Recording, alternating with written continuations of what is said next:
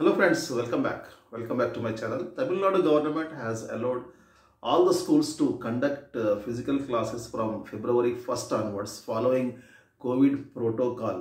Night curfew has been suspended in the state and full lockdown on Sundays has also been withdrawn. But uh, as per the central government calculation, cases are decreasing in Maharashtra, Uttar Pradesh, Delhi, Orissa, Haryana and West Bengal, but uh, cases are increasing in Andhra Pradesh, Telangana, Karnataka, Kerala, Tamil Nadu, Gujarat and Rajasthan states. So in Tamil Nadu also cases are increasing day by day. Then how come the government has given permission to all the schools and colleges to reopen from February 1st onwards? That's really surprising.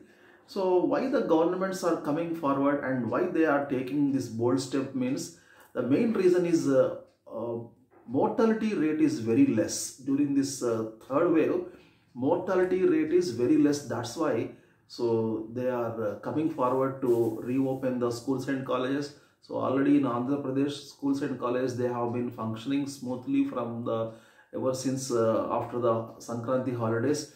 And in maharashtra also they have reopened.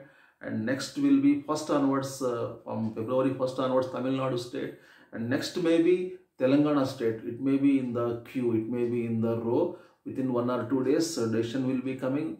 It will be coming out. Okay, so please wait for uh, one or two days full for full details. Okay, friends. So thanks for watching my videos. We meet again very soon. Till then, take care. Bye bye. Jai Hind.